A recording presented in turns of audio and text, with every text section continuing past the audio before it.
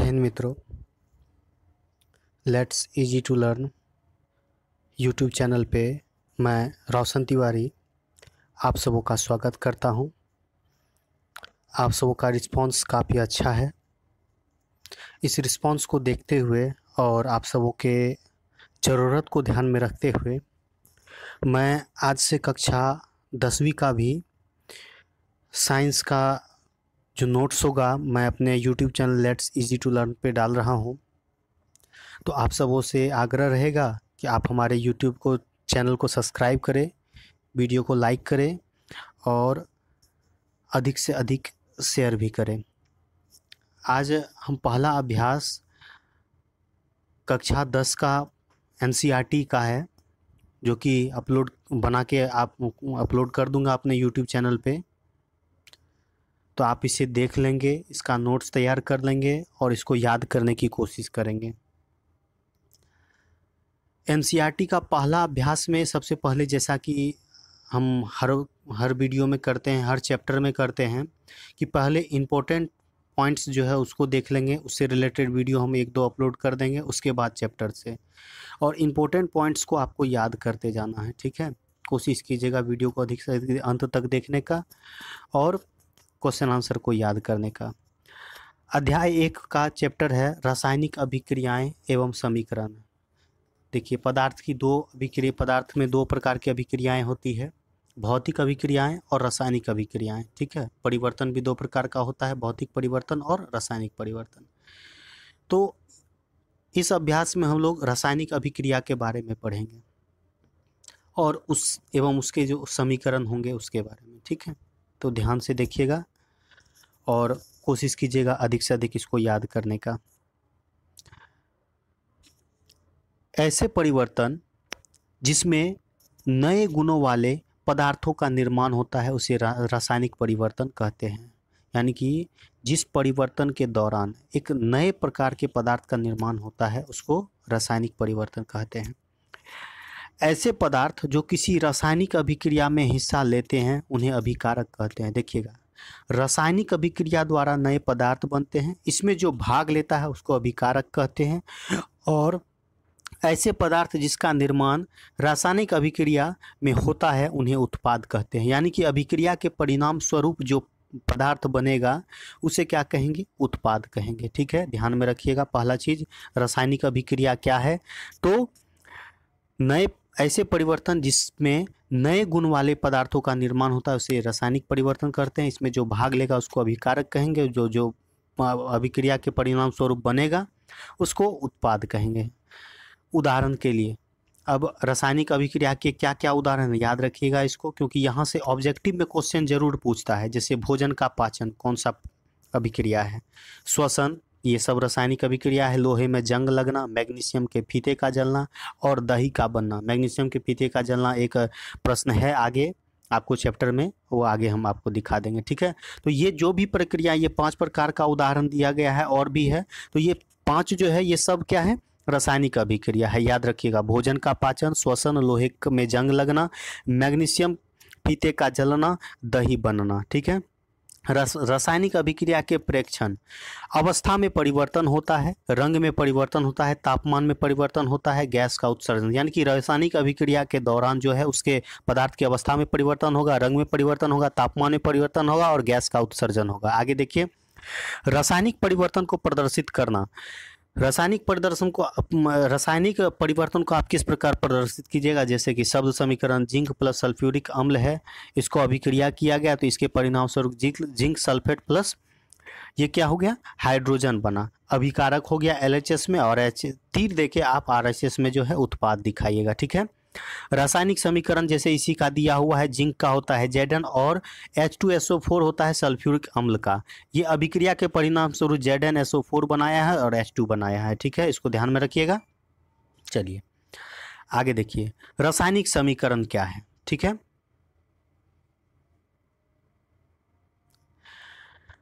रासायनिक समीकरण। रासायनिक अभिक्रिया रासायनिक समीकरण द्वारा निरूपित की जाती है। रासायनिक समीकरण में तत्वों के प्रतीक और अभि, या अभिकारक, जो प्रतीक है या अभिकारक है, जो अभी आप लोग देख चुके हैं, और उत्पादों के रासायनिक सूत्र उसकी भौतिक अवस्था के साथ लिखे जाते हैं। उसकी भौतिक अवस्था क्या है, उसके साथ लिखे जाते हैं। रासायनिक अभिक्रिया में आवश्यक परिस्थितियाँ जैसे ताप, दाब, उत्प्रेरक आदि को तीर के निशान के ऊपर या नीचे दर्शाया जाता है उसका ताप क्या है, उसका दाब क्या है, किस तापमान पर इसका परिवर्तन हुआ है, उसको जो है वो बीच में जो आप यहाँ पर दिखा, आपको दिखा सकते हैं। ये जो एरो मार्क यहाँ पर आप बीच में दिए हैं, ये एरो मार्क पर दर्शाया जाता है कि कितने डिग्री ताप पर, कितने डिग्री उष्मा पर आप जो है इसको, ये अभिक्रिया को संपादित किए हैं, ठीक है? रासायनिक अभिक्रिया को संतुलित करना। अब किस प्रकार आप, देखिए, रासायनिक अभिक्रिया जब भी आप कीजिएगा तो इसको संतुलित कीजिएगा। बिना संतुलित किए आप नहीं लिखिएगा और संतुलित करने से रिलेटेड बहुत सारा प्रश्न पूछा जाता है कि निम्नलिखित रासायनिक समीकरण को आप क्या कीजिए? इसको संतुलित कीजिए, ठीक है? रासायनिक अभिक्रिया को संतुलित कीजिए। जैसे, द्रव्यमान संरक्षण का नियम, आपको अंतिम में हम वैसे कक्षा नाइन्थ में भी है, द्रव्यमान संरक्षण का नियम है। किसी भी रासायनिक अभिक्रिया में द्रव्यमान का ना तो निर्माण होता है, ना ही विनाश होता है। ऊर्जा संरक्षण का भी नियम यही है। इसको भी याद रखिएगा, ना तो ऊर्जा को बनाया जाता है, ना ही ऊर्जा का नाश किया जा सकता है, ठीक है? रासायनिक अभिक्रिया से पहले, यानी अभिकारक जो है, और इसके पश्चात जो उत्पाद बनता है, प्रत्येक तत्व में परमाणुओं की संख्या समान होनी चाहिए। यही इसी प्रकार जो है, परमाणु की संख्या को समान करके जो है ना, समीकरण को संतुलित किया जाता है। चरणबद्ध संतुलन करना, किस प्रकार आप संतुलित कीजिएगा उसको देखिए। चरण एक, रासायनिक समीकरण लिखकर प्रत्येक सूत्र के चारों ओर बॉक्स बना लीजिए। यानी कि इस प्रकार आप समीकरण लिखिए और इसका बॉक्स में जैसे एफ़ ई है, लोहा का होता है और एच टू ओ जल से अभिक्रिया किया। उसके बाद एफ़ ई ओ थ्री हो गया और एच टू क्या हो गया? ये मुक्त हो गया, ठीक है? संतुलित करते समय बॉक्स के अंदर कुछ भी परिवर्तन नहीं कीजिए। यानी कि आप जब इसको संतुलित कीजिएगा तो इसमें किसी भी प्रकार का परिवर्तन नहीं कीजिएगा, ठीक है? चरण दो, पहला तो आप इसको लिखिए, इसको बॉक्स के अंदर लिखिए, ठीक है? दूसरा चीज़, समीकरण, चरण दो में, समीकरण में उपस्थित विभिन्न तत्वों के परमाणुओं की संख्या नोट कीजिए, यानी कि तत्व का जो परमाणु संख्या है, उसको नोट करना है। जैसे कि है हाइड्रो एफ़ का एक और उत्पाद में तीन हाइड्रोजन का दो, उत्पाद में दो ऑक्सीजन का एक और उत्पाद में चार, यानी कि उत्पाद जो बना इसमें कितना है? चार, तीन है। देखिए, उत्पाद में तीन, यहाँ एक, ठीक है? उसके बाद एच टू यहाँ पर एच टू यहाँ थोड़ा मिस्टेकिंग है, यहाँ पर ऑक्सीजन का यहाँ फोर दे दिया है थ्री होगा, ठीक है? इसको ध्यान में रखिएगा। इधर एक है ऑक्सीजन ओ का। और यहाँ पर एफ़ ई वन इधर थ्री है, ठीक है? इधर थ्री दिया है, ठीक है? इसको देख लेते हैं आगे क्या है इसका रीजन आगे देखिए। चरण जो भी इसका है, एलएचएस में परमाणु संख्या क्या है और आरएचएस में क्या है, इस दोनों को लिख लेंगे। उसके बाद चरण तीन में सबसे अधिक परमाणु वाले तत्व को अभिकारक या उत्पाद की साइट अनुसु, अनुचित गुणांक कर संतुलित कर लीजिए। यानी कि उत्पाद के साइड में आप जो है, उसको गुना करके संतुलित कर लीजिए जैसे देखिए एफ़ ई प्लस फोर से इसको गुना किया गया है एट हो गया है। तो एच एट हो गया ऑक्सीजन फोर हो गया, क्योंकि यहाँ पर ओ फोर था। देखिए, यहाँ ओ थ्री था मिस्टेकिंग था। यहाँ पर ओ फोर है, ठीक है एफ़ ई ओ फोर तो यहाँ पर ओ फोर है, उसके बाद यहाँ पर टू तो इसको ओ को फोर बनाने के लिए कर लिया गया है। तो अब यहाँ पर क्या हो गया है? इस तरफ़ आप, एक मिनट हम आपको दर्शाते हैं।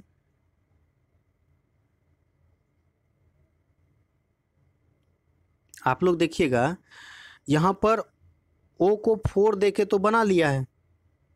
ओ फोर दे के यहाँ पर एच तो एट हो गया ओ फोर हो गया क्योंकि इस साइड में ओ फोर था, ठीक है? अब क्या हो गया? तो इधर यदि आप फोर किए हैं तो दूसरे साइड भी आप क्या कीजिएगा? एट कीजिएगा तो यहाँ पर भी जो है ना फोर लगा के आगे देख रहे हैं, इसको जो है एट बना लिया गया है, ठीक है? तो आप लोग देख लिए, आगे देखिए। सभी तत्वों के परमाणु संग परमाणुओं की संख्या अभिक्रिया के दोनों ओर समान होनी चाहिए। यानी कि जितने भी तत्व हैं जैसे यहाँ पर देखिए एफ़ ई को भी थ्री करके बना लिया है। एफ़ ई देखिए इधर एफ़ थ्री है तो दूसरे साइड भी एफ़ थ्री किया गया है।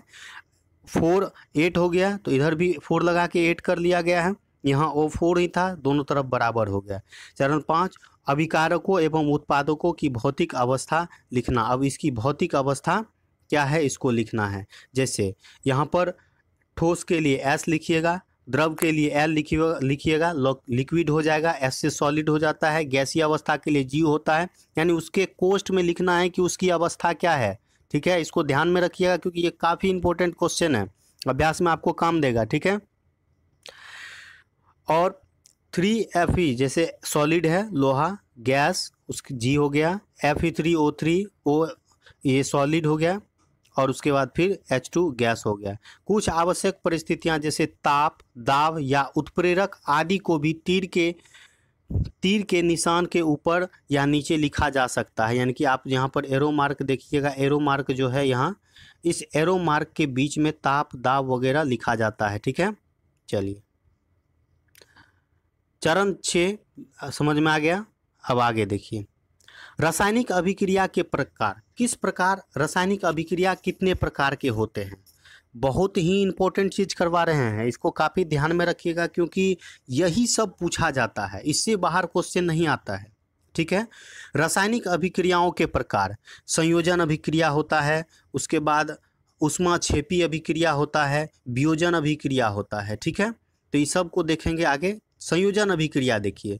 इस अभिक्रिया में दो या दो से अधिक अभिकारक मिलकर एकल उत्पाद यानी कि दो दो उत्पाद मिलकर जब एक उत्पाद, एकल उत्पाद बनाता है, दो अभिकारक मिलकर जब एकल उत्पाद बनाता है तो ऐसी अभिक्रिया को संयोजन अभिक्रिया कहते हैं। जैसे कोयले का दहन, सी सॉलिड कोयला हो गया और ऑक्सीजन की उपस्थिति में वह जलेगा तो सी कार्बन डाइऑक्साइड गैस बनाएगा। ठीक है। जैसे जल का हाइड्रोजन हो गया और ऑक्सीजन मिलकर अभिक्रिया किया तो एच टू ओ जल बनाया, लिक्विड हो गया। सी ए ओ बिना बुझा हुआ चूना है और कैल्शियम हाइड्रो कैल्शियम ऑक्साइड है, उसको ऑक्सीजन की ऊपर इसको जल से अभिक्रिया करवा दिए तो बिना बुझा हुआ चीना कैल्शियम हाइड्रो ऑक्साइड बन गया, ठीक है। आगे देखिए, उष्मा छेपी अभिक्रिया। जिन अभिक्रियाओं में उत्पाद के निर्माण के साथ साथ उष्मा का भी उत्सर्जन होता है, उष्मा छेपी अभिक्रिया कहते हैं। यानी कि उष्मा जिसमें उष्मा भी निकलेगा, उसको उष्मा छेपी अभिक्रिया कहेंगे, ठीक है? जैसे प्राकृतिक गैस का दहन सी एच फोर होता है, प्राकृतिक मीथेन का सूत्र होता है ओ टू के साथ उपस्थिति में जलेगा सी ओ टू बनाएगा और एच टू ओ उस जल भी मुक्त होगा। साथ ही इसमें उष्मा भी मुक्त होता है। तो जिसमें उष्मा भी मुक्त होगा उसको उष्मा छेपी अभिक्रिया कहेंगे। जैसे श्वसन और श्वसन एक उष्मा छेपी अभिक्रिया है। ध्यान में रखिएगा, प्राकृतिक गैस का जलना तो उष्मा छेपी अभिक्रिया है ही। हम लोग जो श्वास लेते हैं तो ये श्वसन जो है, ये भी क्या है? उष्मा छेपी अभिक्रिया है। इसको ध्यान में रखिएगा। C H C six H बारह ओ सिक्स एच ओ इसका ऑक्सीजन के साथ जैसे ही अभिक्रिया कीजिएगा तो C O two carbon dioxide और हाइड्रो जल मुक्त होगा और उष्मा होगा, ठीक है? वियोजन अभिक्रिया। इस अभिक्रिया में एकल अभिकारक टूटकर दो या दो से, दो या उससे अधिक उत्पाद बना, बनते हैं, ठीक है? एक अब, एक अभिकारक टूटकर दो उत्पाद बनते हैं, ठीक है? इसको ध्यान में रखिएगा। वियोजन, संयोजन, दो उत्पाद मिलके एक उत्पाद बनाया दो अभिकारक मिलके एक नया उत्पाद बनाया वियोजन में हो गया, एक उत्पाद विखंडित होके दो नए, अभिकारक जो है, वो विखंडित होके दो नए उत्पाद बनाते हैं। इसको ध्यान में रखिएगा, ठीक है? इसी में उष्मा वियोजन, उष्मा द्वारा किया गया, उष्मा द्वारा किया गया वियोजन है, ठीक है? उष्मीय वियोजन, यानी कि उष्मा द्वारा जो वियोजन होगा, उसको उष्मीय वियोजन कहेंगे, ठीक है? जैसे देखिए, उष्मा उष्मा द्वारा जो वियोजन होगा उसमें वियोजन हो जाएगा, यानी कि अभी देखिए एक मिनट। संयोजन पढ़े थे, वियोजन पढ़े थे। वियोजन मतलब अलग, संयोजन पढ़े थे, संयोजन में उष्मा छेपी अभिक्रिया था, ठीक है? संयोजन अभिक्रिया में उष्मा छेपी अभिक्रिया, और वियोजन अभिक्रिया में उष्मा, उष्मीय वियोजन यानी कि उष्मा के कारण जो पदार्थ अलग होगा, जैसे देखिए F E three ferrous sulphate को जब आप उष्मा पे गर्म कीजिएगा तो फेरस ऑक्साइड बन जाएगा। ठीक है? आगे देखिए, चूना पत्थर को जब आप उष्मा पे गर्म कीजिएगा तो बिना बुझा हुआ चूना अलग हो जाएगा और कार्बन डाइऑक्साइड अलग हो जाएगा।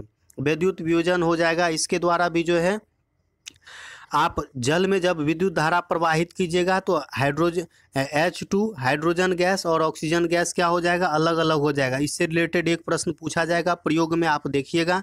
अभ्यास के दौरान है। इस प्रश्न को ध्यान में रखिएगा। इस चित्र को भी ध्यान में रखिएगा कि जब जल में आप कोई पानी में ग्रेफाइट का रड डालते हैं और पखनली रड के ऊपर लगा हुआ होता है तो इस इस प्रकार से क्या होता है? एक में इसमें होता है धन एनोड और कैथोड होता है। आप देख रहे होंगे एनोड में ऑक्सीजन और कैथोड पे हाइड्रोजन ये जो क्षर होता है, इस पे एनोड पे जो है ऑक्सीजन गैस मुक्त होता है और कैथोड पे हाइड्रोजन गैस मुक्त होता है। इसको ध्यान में रखिएगा। यहाँ से ऑब्जेक्टिव में प्रश्न पूछा जाता है, ठीक है?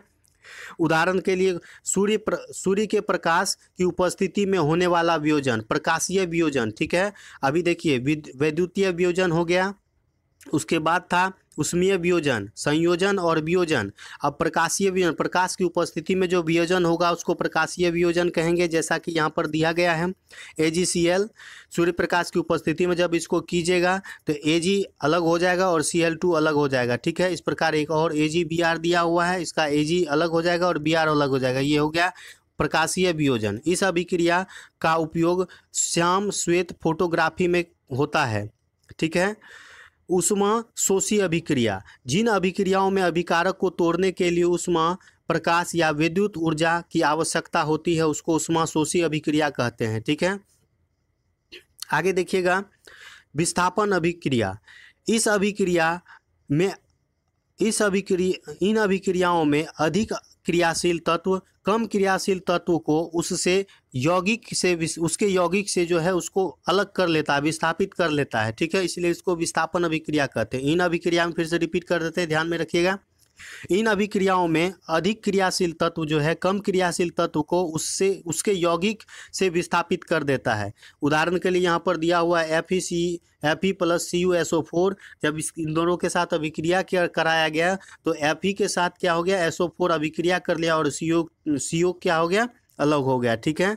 लोहे की कील, यहाँ पर एक दिया हुआ है। लोहे की कील पर भूरे रंग के कॉपर की परत जम गई। C U S O four के नीले विलियन का रंग F E S O four के निर्माण के कारण हो गया। उसी तरह से एक और दिया हुआ है Z N C U S O four किया गया तो Z N S O four हो गया और plus C U S O four हो गया, ठीक है? उसके बाद द्विविस्थापन अभिक्रिया है। यहाँ पर आप देखे होंगे विस्थापन अभिक्रिया। विस्थापन अभिक्रिया में द्विविस्थापन अभिक्रिया है आगे। इस अभिक्रिया में उत्पाद, उत्पादों का निर्माण दो यौगिक के बीच दो यौगिकों के बीच आयनों के आदान प्रदान से होता है। जैसे देखिए, sodium sulphate N A two S O four इसका जब अभिक्रिया कराया गया, barium chloride B A C L two के साथ तो बेरियम सल्फेट बन गया B A S O four और सोडियम क्लोराइड इधर बच गया टू एल ठीक है? आगे देखिए, यहाँ पर बेरियम सल्फेट के सफ़ेद अविलय अवक्षेप का निर्माण होता है। इसीलिए इस अभिक्रिया को अवक्षेपन अभिक्रिया कहते हैं। अवक्षेप अवक्षेप के रूप में जो है, इस, इसका निर्माण होता है। उसके बाद देखिए, अपचयन एवं उप, उपचयन एवं अपचयन अभिक्रिया। अपचयन अभिक्रिया जब किसी पदार्थ से ऑक्सीजन की वृद्धि होती है, जब किसी पदार्थ में ऑक्सीजन की वृद्धि होगी तो इसको कहेंगे उपचयन अभिक्रिया। जब किसी पदार्थ में ऑक्सीजन का हास होगा, यानी कि ऑक्सीजन की वृद्धि होगी तो उपचयन और ऑक्सीजन का हास होगा तो अपचयन कहेंगे, ठीक है? जब किसी पदार्थ में ऑक्सीजन का हास होगा, और जब किसी पदार्थ में हाइड्रोजन की वृद्धि होगी, इसमें ध्यान में रखिएगा। फिर से एक बार रिपीट कर देते हैं। जब किसी पदार्थ में ऑक्सीजन की वृद्धि होती है, ठीक है? जब किसी पदार्थ में ऑक्सीजन की वृद्धि होती है और जब किसी पदार्थ में हाइड्रोजन, ऑक्सीजन की वृद्धि होगी, हाइड्रोजन का हास होगा। इसको कहेंगे अपचयन और उपचयन कहेंगे और अपचयन में ऑक्सीजन का हास होगा और हाइड्रोजन की वृद्धि हो जाएगी। ठीक है? आगे देखिए। दैनिक जीवन में अपचयन अभिक्रियाओं का प्रभाव। दैनिक जीवन में अपचयन अभिक्रिया का क्या क्या प्रभाव है? देखिए संचारण जब कोई धातु आर्द्रता, अम्ल आदि के संपर्क में आती है, जिसके धा, जिससे धातु की ऊपरी परत कमज़ोर हो जाती है संचारित हो जाती है। लोहे की वस्तुओं में जंग लगना, चांदी के ऊपर काली परत व तांबे के ऊपर हरी परत चढ़ना संचारण के उदाहरण है। यह सद लेपन, विद्युत लेपन और पेंट करके संचारण से धातुओं को बचाया जा सकता है। सीधा इसमें ध्यान रखिएगा, जंग लगना जो है, ये संचारण है, ठीक है? जब कोई धातु धातु, आर्द्रता, अम्ल आदि के संपर्क में आके अभिक्रिया कर लेता है तो इसको, और धातु कमज़ोर हो जाता है, धातु के ऊपर एक परत बन जाती है तो इससे क्या कहते हैं? संचारित हो जाता है, ठीक है? चलिए। विकृत गंधिका, वसायुक्त और तेलीय खाद्य सामग्री वायु के संपर्क में आने पर उपचयित हो जाते हैं, जिससे उसके स्वाद और गंध में परिवर्तन हो जाता है। इसे विकृत गंधिका कहते हैं, यानी कि अलग प्रकार का गंध आना, खराब हो जाना, ठीक है? विकृत गंधिका रोकने के उपाय। प्रतिऑक्सीकारक का उपयोग करके वायुरोधी बर्तन में खाद्य सामग्री को रख के वायु के स्थान पर नाइट्रोजन गैस द्वारा और शीतलन द्वारा, यानी फ्रिज वगैरह में रख के आप विकृत गंधिका के गुण को रोक सकते हैं, ठीक है?